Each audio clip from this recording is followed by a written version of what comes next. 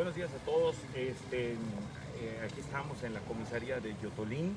Estamos ahorita recorriendo esta calle 24 que durante la tormenta tropical Cristóbal del 2020 resultó ser la más afectada. Ustedes recordarán que toda, toda esta calle, hasta el final de la calle es donde vino el corrental de agua y que fue parte del origen donde, donde el pavimento se levantó, se fue y motivo de las inundaciones en esta zona.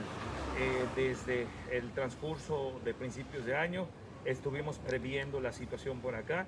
Se hicieron pozos pluviales en las esquinas de esta zona, en la esquina del Kinder, en toda esta zona en Yotolín, de tal manera que se contuviera la mayor cantidad de agua.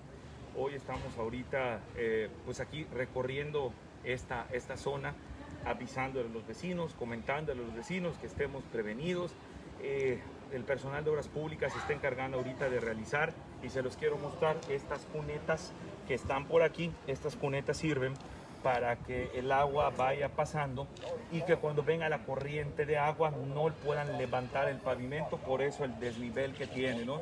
Entonces, eh, pues aquí vamos a seguir, decirles y comentarles a todos ustedes que hay que estar alertas. Hoy tenemos, bueno, según el último reporte, que eh, eh, Grace es un huracán categoría 1, que muy probablemente nos toque una cantidad de lluvias muy fuertes a partir del día de hoy y hasta el día de mañana.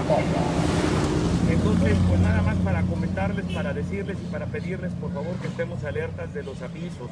Las seis cuadrillas que hoy tenemos de personal del ayuntamiento se están, están divididos de tal manera que se están limpiando pozos pluviales, se están despejando las calles para que el agua fluya. Eso es algo que le hemos platicado ahorita con los vecinos de que por favor nos ayuden con recoger la basura que tienen en la puerta de sus casas, porque esa basura termina a la larga tapando pozos y termina causando encharcamientos. Entonces ahorita se está realizando todo esto, ya tenemos habilitados, vamos a habilitar el albergue aquí en Yotolín, en Pustunich, en Ticul, ya eh, los equipos de sanitización están, Estamos ya coordinados con Protección Civil Estatal, con la Guardia Nacional, la Policía Estatal, la Policía Municipal y pues me va a tocar eh, encabezar esta situación. No tenemos que perder de vista ni en el camino dejar de ver que todavía tenemos una situación de pandemia complicada en el municipio y en general en todo el estado y en todo el país.